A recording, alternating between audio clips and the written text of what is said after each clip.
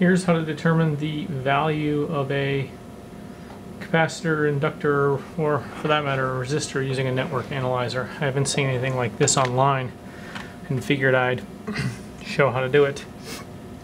I've just fired up this network analyzer. It's pretty warm, so it should be pretty accurate. And it should be said that there are plenty of, uh, of caveats in this as far as accuracy goes. Uh, you can get really crazy with this stuff, especially if, if you're up in, in ultra high frequencies. I work in the sub gigahertz band, so uh, I don't tend to get too wrapped around the axle about about uh, some of this stuff. Some, sometimes you have to, other times you don't. But uh, first we have to calibrate it, and uh, I've made up some of my own calibration standards that I've been using for years, and uh, they're they've been tested against calibration standards, so I know they're very accurate. Accurate.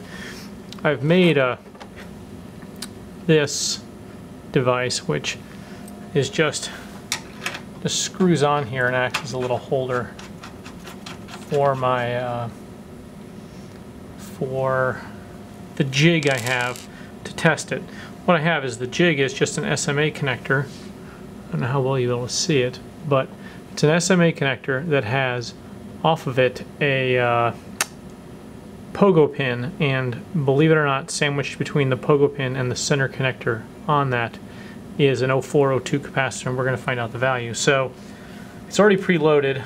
I'm going to do my reflection port extension uh, using just a the same sort of end launch. So first let me calibrate it. I have my open and I've got the network analyzer set from startup 300 kilohertz out to uh, 3 gigahertz. And it'll be traditionally I would do this in the in the Smith chart. So at a power of 0 dBm output. So now I'll go back to cal calib calibrate one port. Got my open in there so open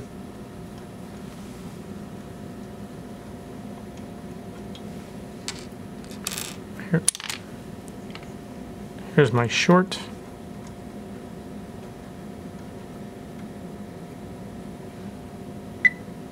Now I'll do my load, 50 ohm load.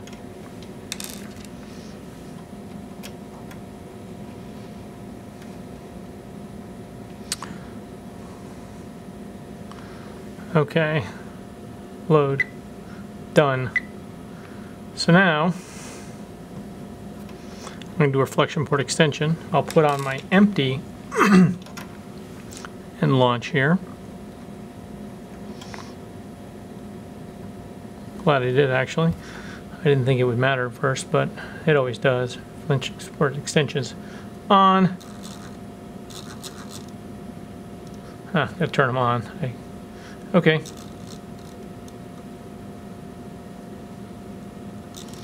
Now let's see what we got.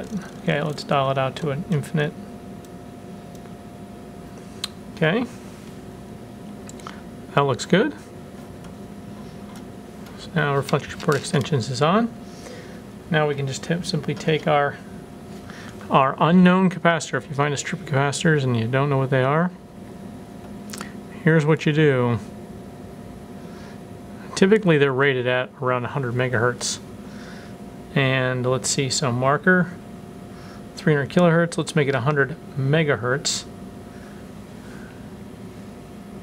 And you can see this is a 5.2 PF cap at 100 megahertz.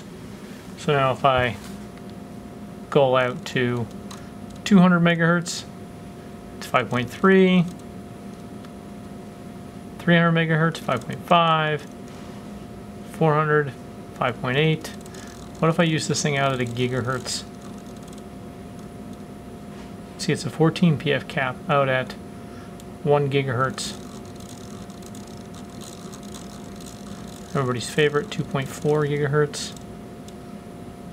It actually looks like an inductor at that point.